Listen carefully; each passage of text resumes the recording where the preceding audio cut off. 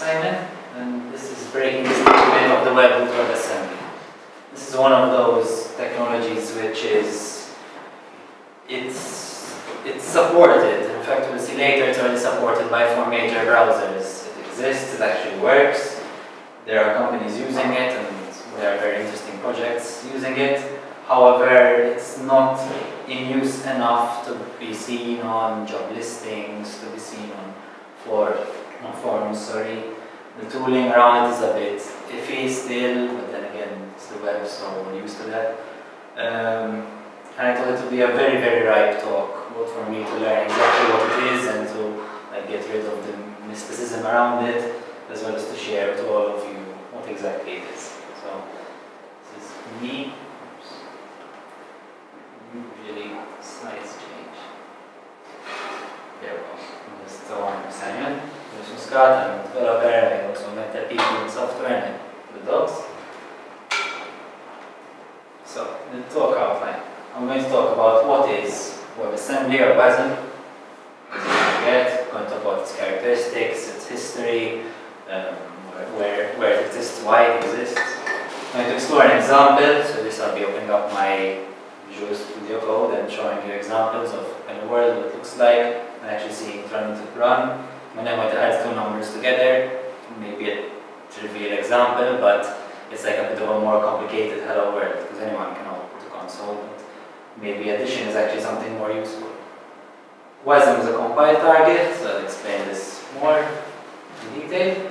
Reasons to write it, like what problems does it solve? There is no shortage of projects which, ex which exist just because, but what problem does it, actually, does, does it actually solve that I should be interested in using it.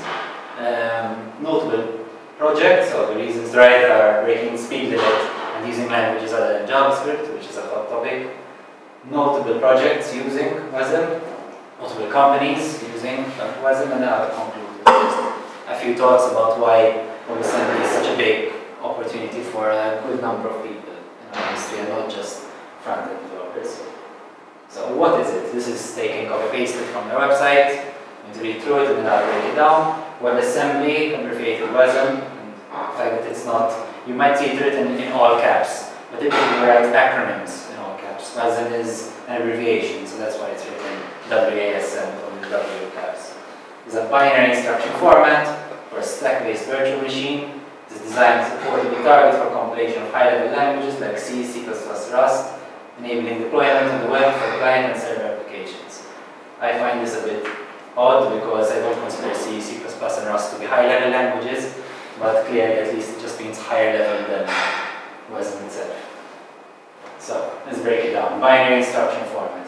It means that the end product is actual machine code. If you were to look at it in a text editor, you get a jumble of characters that you can't understand.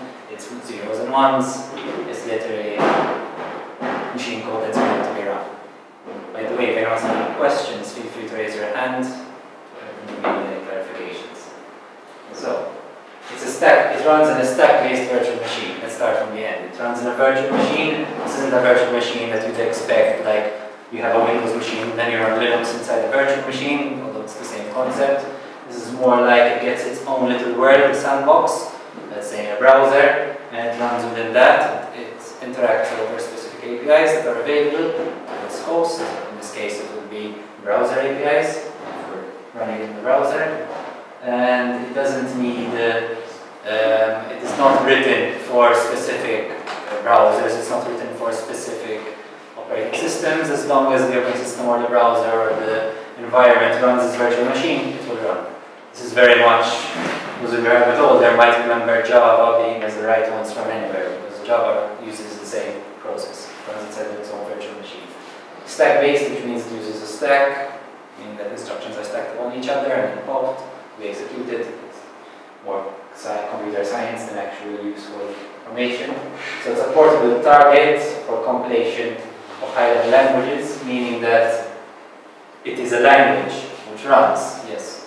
However, it is a target for compilation of higher-level languages. We'll see later how, even though it is a binary instruction format, it actually has a textual format that we can see and we'll take a look at but it is this textual format that then your tool chain translates to binary, that allows you to use a higher level language. The examples include C, C++, Rust.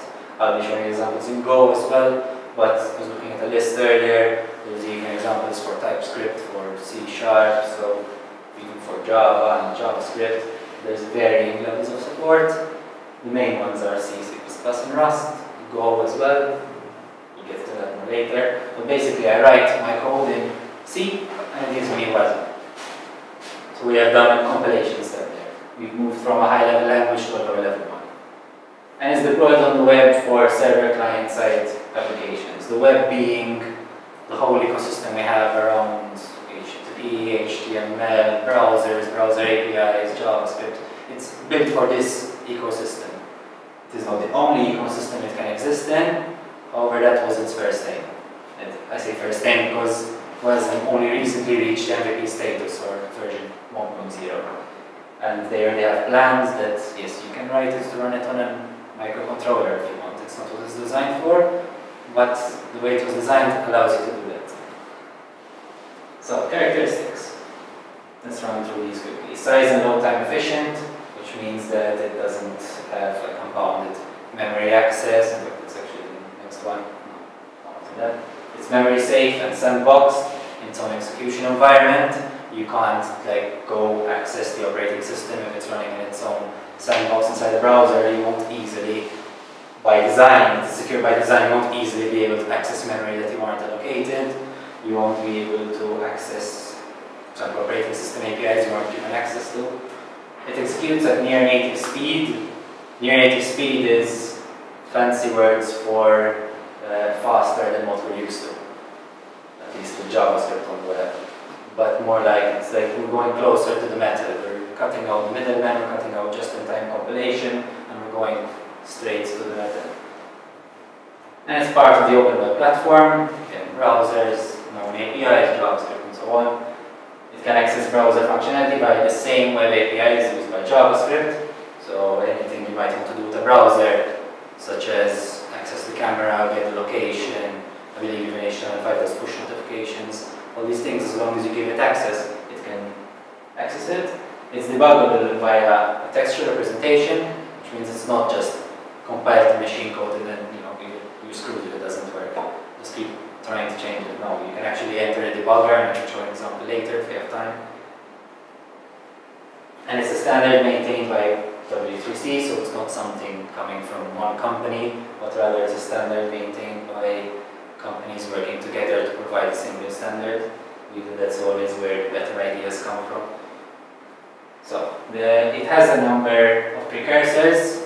One is PNACL by Google, started in 2011. NACL stands for Native Client, which was Google's attempt to run native code within browsers, specifically designed for Chrome OS then they believe they open sourced it and other browsers could implement it, but um, since it was coming only from Google, the, the reaction is usually, why should I write my browser to have support for my competitor's solution? This is why at least WASM has seen much more support because it's an open standard maintained by a committee of several companies. The several companies contribute rather than just one. The other is ASM.js by Mozilla, which was basically a counter claim by Mozilla to try and speed things up. The idea with this is that you grab JavaScript code existing it and you try and compile it beforehand instead of compiling it on the fly and running it and hoping it works. You basically compile it, get the machine code and you optimize it. Support still exists for ASM.js, but both of these projects are basically admitted in a way that they are they have been superseded by WebAssembly. So, what environments is WASM designed to run in? The image is a little spoiler alert. So yeah, the web. What was the web? Um, uh, client side, so embedded in browsers, and these are the four major browsers which have WebAssembly support already. They are not the only ones which matter, because there are other browsers, but for the most part, we're there. So wait, there's already a kind, can I use? Um, can go in and see specifically for specific browsers whether there's support or not. I believe it's either they have support or they don't. There's no partial support. Uh, and then there's also their own docs, which explain why. So it can also be run wherever a JavaScript virtual machine is present. This means it can be run in Node.js, for example. And I believe if you're brave enough and you find, I don't know, microcontroller running the V8 engine, you can probably run your WebAssembly there as well. So server side Node, and anywhere really, eventually. The fact that it's a compiled target, as long as you can build support for its virtual machine, it means that you can run it. So whether you want to run it in your car, on your watch, whatever rocks, whatever floats your boat. So why? So via feature testing, which means that in the post MVP stage they're interested in adding feature testing, which is basically having a has feature function. So you can, in your code, you can write, does this platform that I'm running on have the feature of a webcam? If yes, run this. If no, run this. It's uh, very similar to how we polyfill in, in the web, where does this browser have this function? Yes, then okay, run this. If not, let me change this function to do something and then go ahead and do it. And the other is via dynamic linking, where rather than statically linking, but at compile stage when you grab your code, compile it, and check it out, and it has everything it needs, you can specifically tell the code to expect a library at a certain location. In this case, if you have, let's say, a library which leads with webcams, it could be in a PC, it could be a laptop, or it could be in a car. You know, have video calls in your car. Um, but yes, so then you dynamically link to the library which handles the webcam. Okay, so I'm going to explore an example, as we know, show me. Before you go into the examples, uh, are there any drawbacks on this? Uh, what? Any drawbacks? Any reason why we shouldn't use it? Because I didn't see any. That comes later. Okay. You're ahead. So, this is let's explore the example. First, I'm going to do a test lab. I'm going to do hello world, unkind, because obviously, why not start with that? Then I'm going to add two numbers together on the server side, also to show how, rather than running a full application, I'm going to run a function, create a function, export it, and just run just that function within a JavaScript context. Then I'm going to go back to the garage and look under the hood look at what it looks like in a binary format and textual format. Maybe if we have time, I'll look, take a look at the debugger. Okay. And then I'm going to go on the racetrack, which is the, I think the, the juiciest part of the WebAssembly, which is can we really, how, how, how much faster is it really? And why, you know, why is it so much faster? So, this is where the code starts. Now, this is going to be a bit awkward because I don't have my code here. But, and all of these examples will be available online after the talk. Uh, let's go to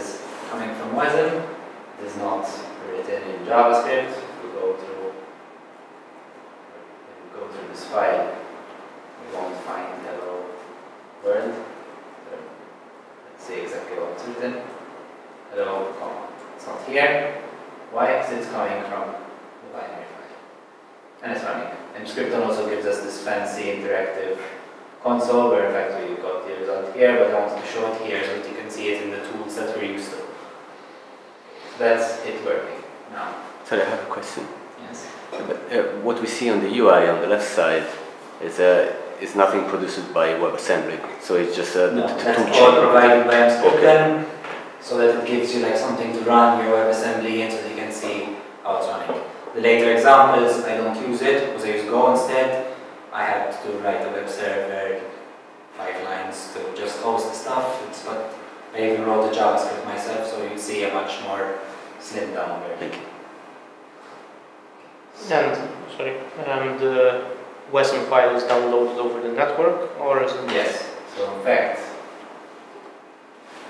we have WASM, and it's in fact your, so this is something that I uh, encountered, your web server has to support a new MIME type that not all web servers support. Because I believe the MIME type is uh, text slash WASM, Application. application slash WASM. Okay. And that is something that I swore until I understood what the hell what the hell was happening. Uh, Okay, cool. Okay, next, let's go back here. So, adding the numbers together on the server side. So now we're not going to use the browser. Okay, Stop this. I'm going to go out, go to server side, which is this. I have my precompiled WASM file. In fact, if I try to access it, Visual Studio Code tells me that it's either binary or unsupported text encoding, as we expect, because it's only a binary file in this case. And in fact, this you can you can take a look at. So basically here I'm. This is all like so I've, there's a lot of inline references got it to work. Creating an environment for my assembly to run. I'm actually uh, telling it how much memory it can run. The table is because I believe you can like have a dynamically linked table of functions as needed. Um.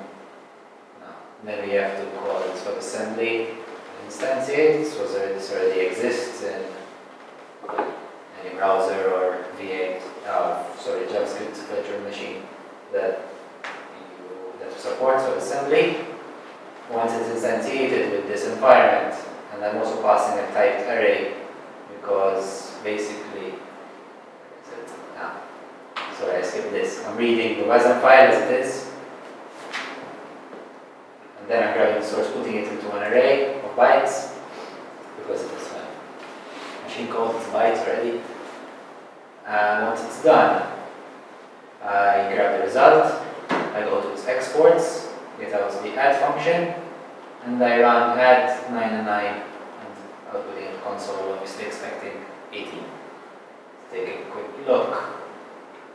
Uh, okay, because this is precompiled, so I didn't have the, the command here. We want to run 18. So this is, if we look here at server.js, there's no actual addition going on. There's no HTML, so I couldn't hide it anywhere. The addition is coming straight from the file here. Okay, so that's the basics. Now, binary and textual.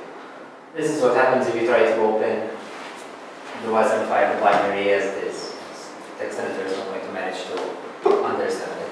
And this is its actual textual representation. In fact, if you're using VS Code, I believe you can download the WASM tools and uh, even though it tells you it doesn't support text encoding, if you click open it anyway, it will translate it for you. So this will uh, grab the machine code and it will give you the textual representation. In fact, the add is super simple because it's literally, you can actually read it. We know that there's a function called add, takes two parameters, both of which are integer 32s, it returns an integer. It, you get the local to get locals because remember at the machine code stage we literally have to tell it get the stuff from that memory location please and then we call add so add happens to be in this case built in to the i32 type of assembly and then we export it this is pretty simple to understand obviously if we take a look at Hello World, because it involves displays and character encodings and all that jazz, we are not understanding the heck is going on. Are we able to write into this file? Yes. So if I'm not hazard doing it now because I didn't try it myself, but if you want to, you can write raw text WASM. You're fine. It will run. Good luck. it, it, it, will run. So even for example, might be able to change this to subtract. For example, I don't know the actual unless it's going to autocomplete for me. No, no, no. Uh, I don't think so actually. Let me change it. I have to copy it, create a new file, and then translate it back to the binary version using the WebAssembly binary toolkit. But yes, you can write raw as if you want. Okay. So, yeah. so what tools allow us to write WebAssembly?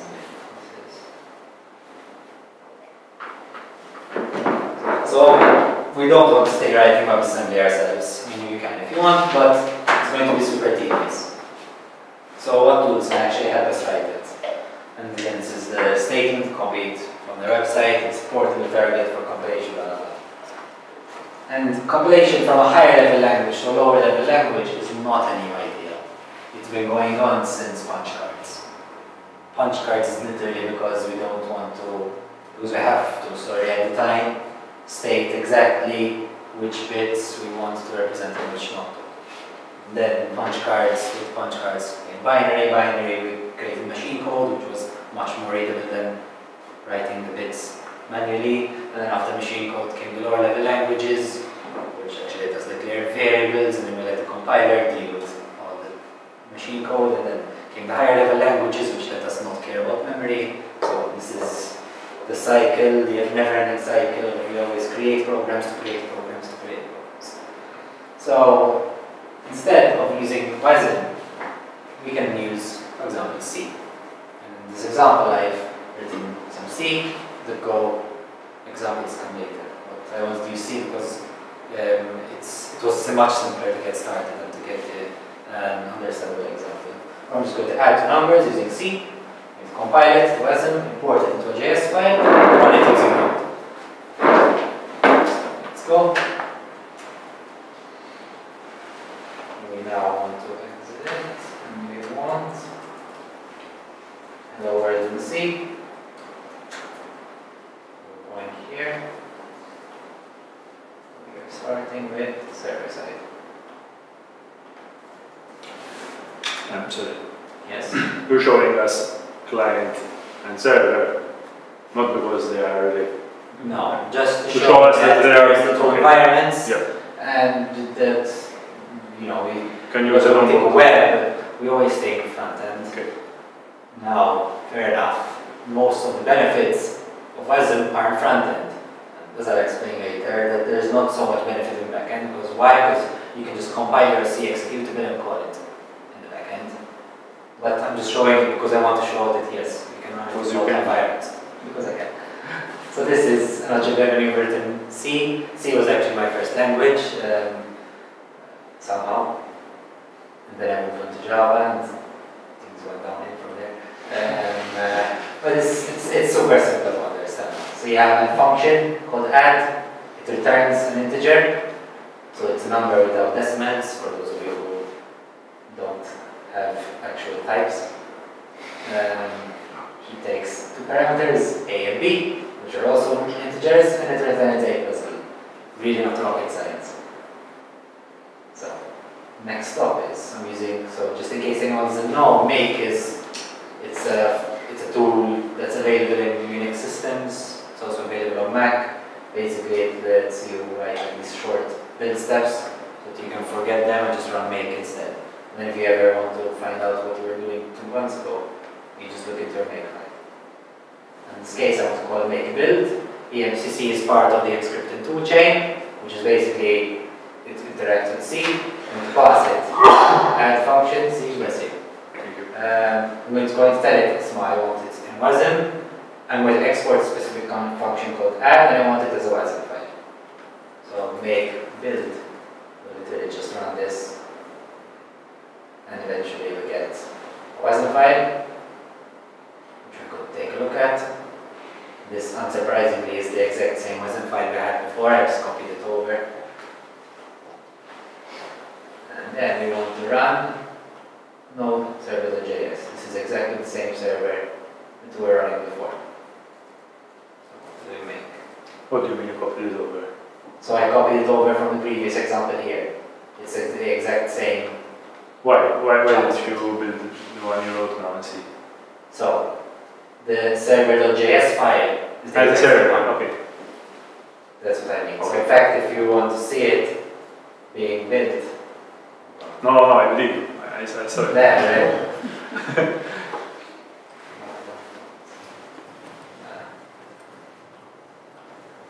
You've lost my terminal. Okay. And that's server side. We want to make. In fact, wait, nothing happened. Hold on. Yes. We want node server.js 18. Same thing as before, just I showed you the part, the step before. We've gone from a high level lang- high level language to a WASM file, used JavaScript to load it, and run an exported function. Mm, Sorry.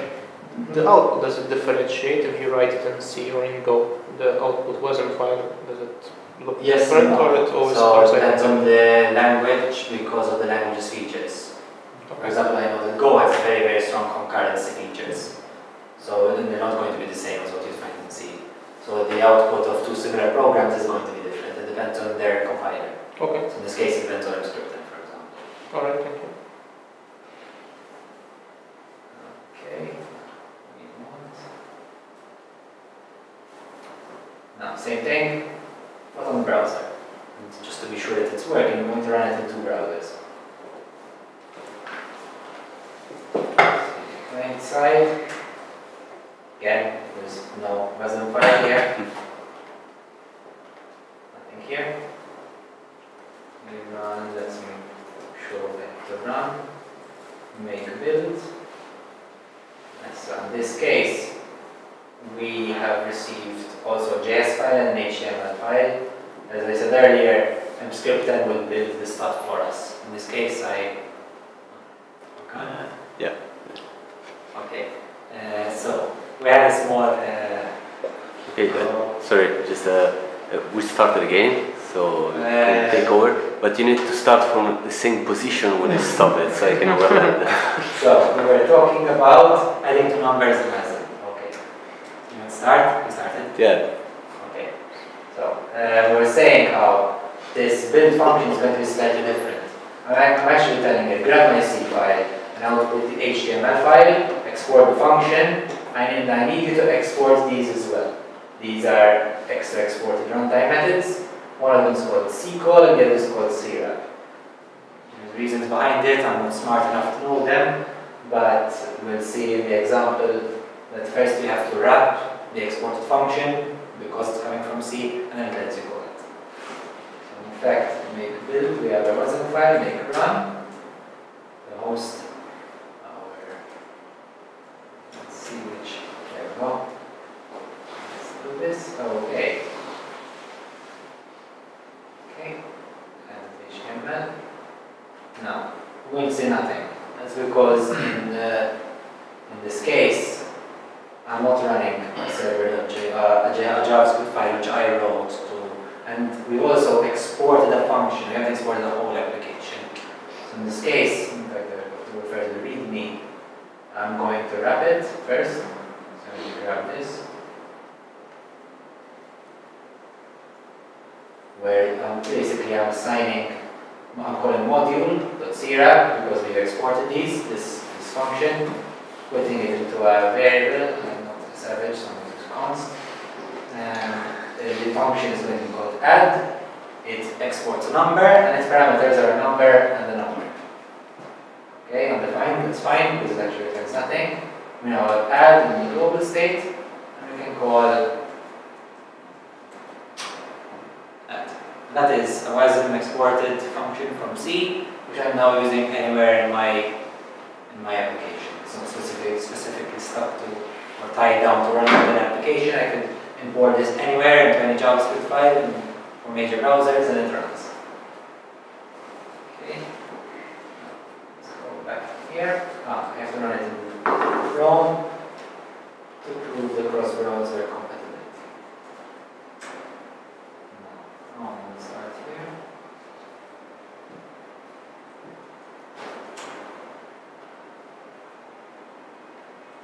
Um, Wasm, for example, is at the point where sometimes if you try to access through certain browsers, if you use localhost instead of 127.0.0.1, it won't work. So there's still these weird issues that you'll find someone from two years ago on a GitHub issue that said fixed. How did you fix it? Oh, I just used 127.0.0.1 instead of localhost. You're like, so same thing. This. this.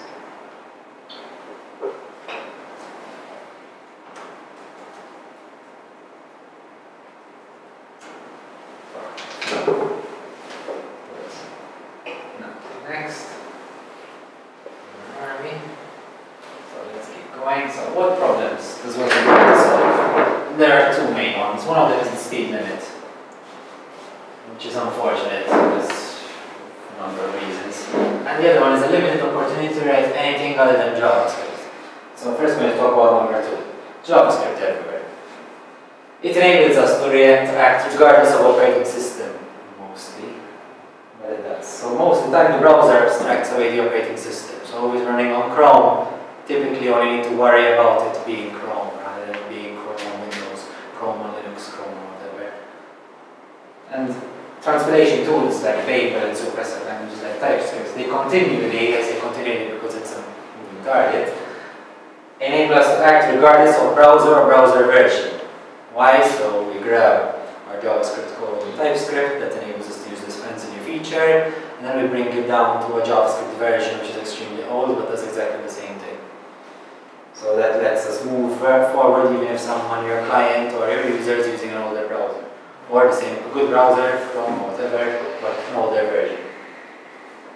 So JavaScript is used as a compiled target. And then the above ways are, JavaScript enables us, but also it's a limitation at this point. We have no option but to go through JavaScript. And WebAssembly offers an alternative. Compile directly to to bytecode, by nearly completely bypassing JavaScript because you still have to use JavaScript to access WebAssembly VM. But it nearly lets you completely bypass it. I'm using TypeScript, I'm using Elm, I'm using Dart, I'm not actually writing JavaScript. Yes, but the reason it actually runs in the browser is because it compiles to JavaScript. So you are, you, you're stuck with the same limitations anyway. You're just not directly exposed to it from a language design perspective. And now the speed limit. So JavaScript is not the fastest language around. And uh, for some people, speed is important. I'm not talking about optimizing a for loop. I'm talking about doing more compute computing intensive stuff. We're mainly limited by two things. Three. Hardware improvements, which in recent years has slowed down. You find many articles talking about Moore's law and the quadrupling every year and how it's no longer applicable and quantum computing is whatever. We, we can't rely on the fact that our user will have faster computers because the gain, the performance benefits coming from hardware are reducing.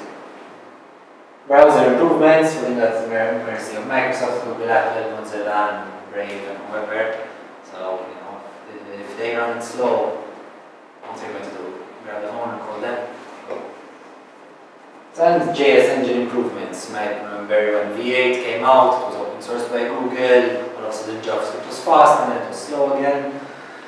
It's like it's again, speed is always a moving target. And this is the biggest speed limit that we have. And make sometimes making JavaScript work faster involves trade-offs. You might want to have this specific for loop, you get some contractor to get to mangle it and, and optimize it specifically so that it's just in time compiling in some weird fancy way, but it runs, let's say, 10 times faster. But you've had a trade-off. You've traded off readability. Now what do you have to maintain the function? You want to call the contractor again? That is money. Contractor is money. So yes, making it more complex, that is either faster, means that you're losing readability. And what we WebAssembly offers an alternative. Compile directly to bytecode, no just-in-time compilation needed, and you can use not necessarily more readable languages, but maybe your add function or function is will be more readable in the, let's say, C or Go or whatever, and you don't have to mangle it and optimize it in some weird ways that might change with the next V8 engine version. So I chose a well-known computationally expensive function. I didn't have a time to do a proper real-world example, so I chose the Fibonacci sequence. Calculating this tends to be computationally expensive. It's basically adding the current number, so it starts from 1, the current number is the previous two numbers added together. So 1 and 1 mean 2, 1 and 2 mean 3, 3 and 2 mean 5, and so on. So, what are we going to do? I'm going to run a JavaScript version of the Fibonacci, of Fibonacci sequence generator, run a WASM version, compare the results, and well, imagine the WebAssembly result is going to be faster. That's fine. So it is. So, this we don't need. Close this, close this, go to here. So before we start that, to include a slide for it. I'm going to use Golang for these examples, partially because I really like Go, and secondly because I wanted to show even how there are different languages compiling to WebAssembly and we can get the same results essentially. I wanted to showcase how this, uh, we can use different languages. So we're going to go into benchmarking. In the meantime, we need separate terminal.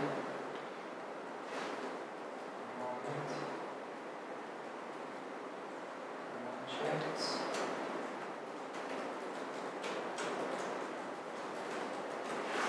So I'm going to start uh, a web server because in this case I don't have Emscripten doing the hosting of the JavaScript files and so on for me. We are going to look hello world.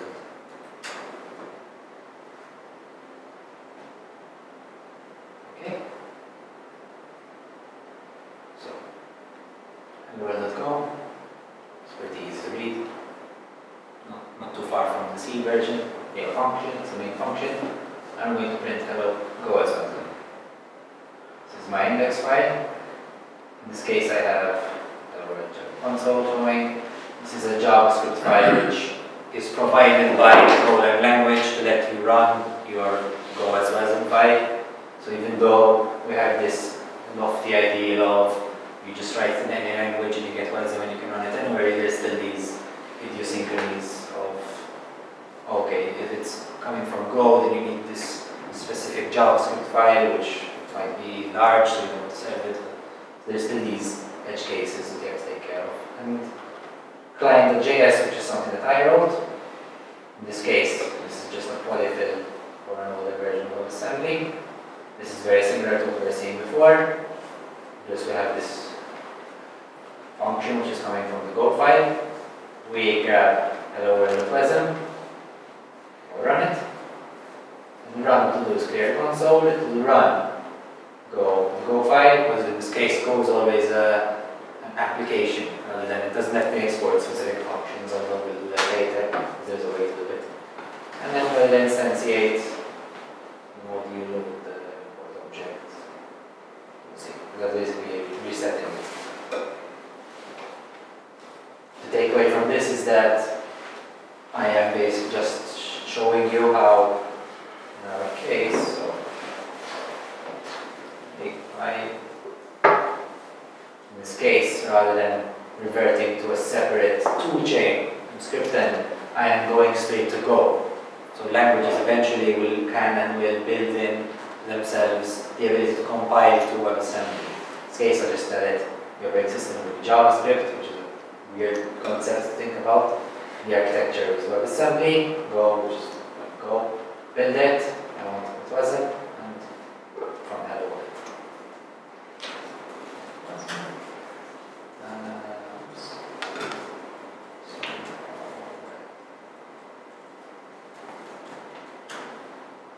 There we go, we have a WASM file. Now, just over, there we go. Need to go to activity.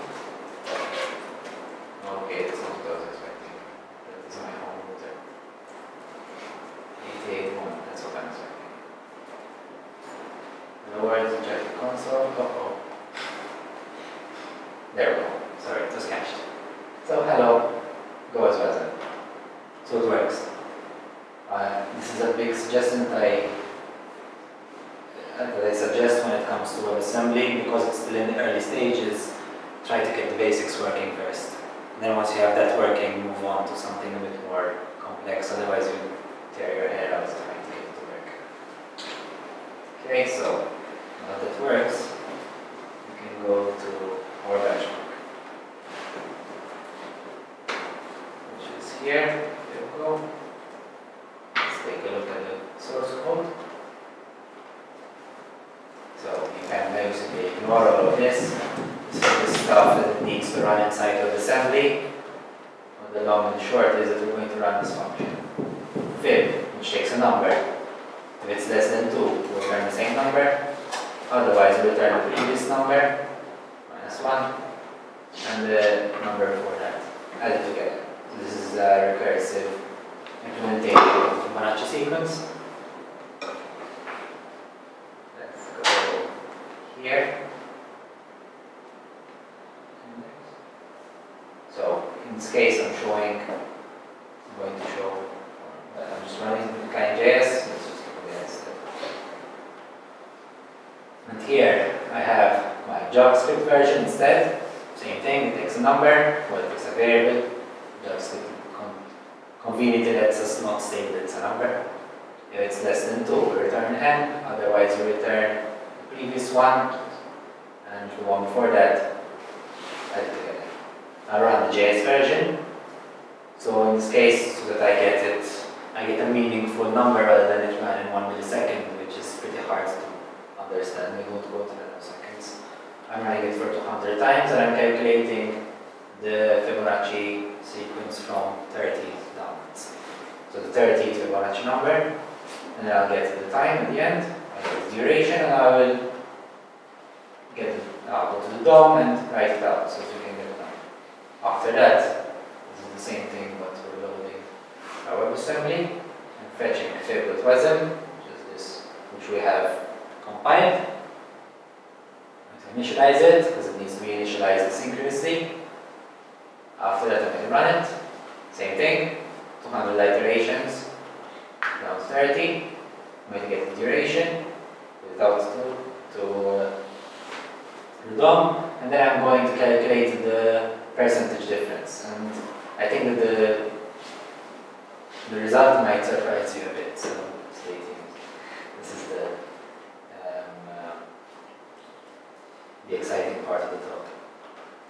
We have to run this.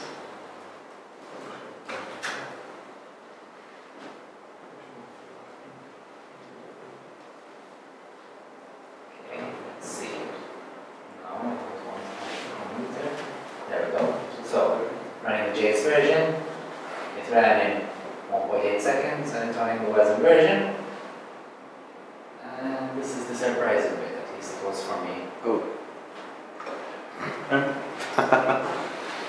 So, yeah, ah, but that's because you cross the bridge for each recursion. what do you mean, cross the bridge? Like JavaScript does, JavaScript uh, back and forth for each for each recursion. So, Yeah, that, that, I have to that admit doesn't here make sense. that I ignored all the computer science that I know and I showed Fibonacci, the recursive version, because that's what I could remember. And uh, I was doing this yesterday and I was super frustrated and I couldn't understand what was going on. Why is it slower? I'm gonna let everyone down. This is a lie. This is something so, No. and this is something where I tell, I tell uh, anyone I mentor and teach that uh, them, um, this is a perfectly normal feeling. Just keep at it. You probably missed something. The JavaScript recursive function you wrote, it's calling itself, no, the JavaScript. So it's not crossing the bridge. as No, it's the other which is crossing the bridge Why? because you call it bridge number. No, what the JavaScript is not calling the resin, which is calling. So WASM is already loaded. So And it can calls you, itself. can you Or call unless I Yeah. see it, right, that must have been It's not written inside wasn't recursively in So, Go. So it's good. no, it's correct, because I called this Well, that's- JavaScript. No, not the JavaScript. Sorry, the AS. This one. And fib is the export of the WASM here. Yes, fib is so, you can take a look here. Per each. Fib is export is a function of, which is called JS fib in here, so my naming is bad, but it's exported as fib. In Yeah, Go, it's recursing inside Go. Yes, It's so never- recursion inside the What, what is the for loop for the 200 To do times? like, That's to do it 200 times. Yeah, but it don't means get- that 200 times you cross the bridge to the once yes, and then you come back. And that's the, the, the huge cost. maybe you have to make a heavier function inside So, to see the rubber. That's super heavy what? compared to WASM. So, like 3000, not Yeah. 20 or 30. Yeah. I might have seen these commented parts. So I basically achieved what you're saying, but differently. Oh. I Oh, wrote it iteratively instead of recursively. Hmm. What I was going to say is that, that if you like do them both recursively, it's not a fair comparison because if one of the languages has a better way to handle the recursion, like if Go has some shortcut inside it, so If it was, if the result is close, I would agree with you. But it's not actually not that close that you think that it's that's the case.